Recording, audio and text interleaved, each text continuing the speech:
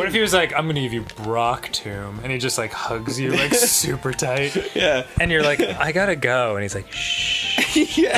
He's like, you're taking damage from bind.